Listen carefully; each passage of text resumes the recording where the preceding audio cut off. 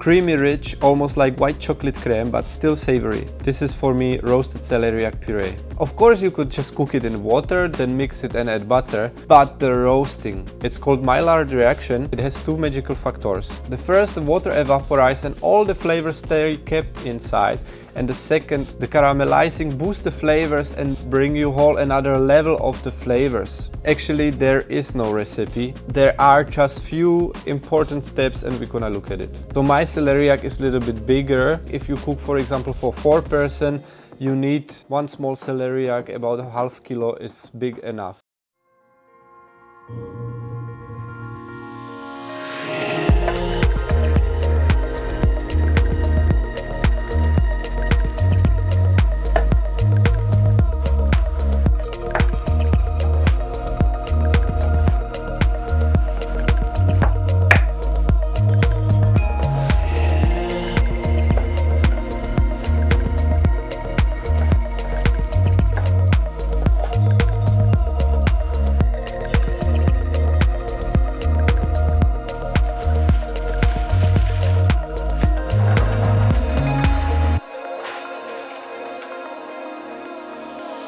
Bye.